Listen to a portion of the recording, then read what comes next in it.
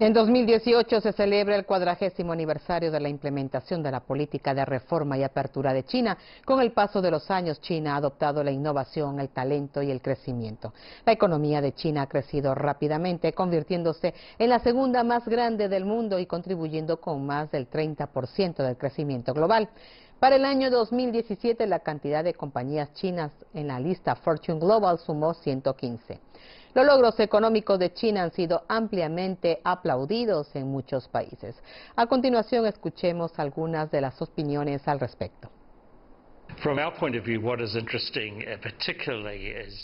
Desde nuestro punto de vista, lo que resulta interesante y particular es el compromiso constante de China hacia una economía abierta, hacia el comercio internacional y hacia promover las relaciones con países de todo el mundo.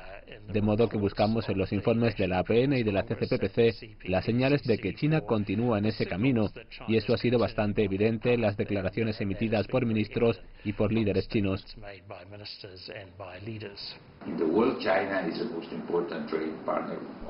China es el socio comercial más importante para más de 120 países del mundo, incluyendo a la mayoría de los países de Sudamérica. Y esto significa sin duda que estamos viviendo un escenario extraordinariamente positivo de paz y progreso con la posición de liderazgo de China.